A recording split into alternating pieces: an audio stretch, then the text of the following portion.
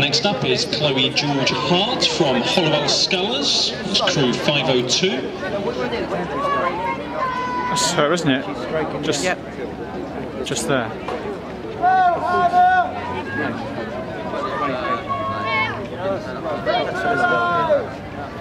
That's Elizabeth. Yeah. You sure? Yeah. Yeah, that's her.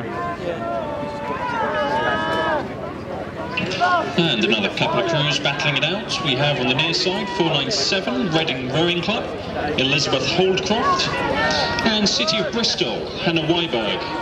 513 just ahead as she comes towards the finish line.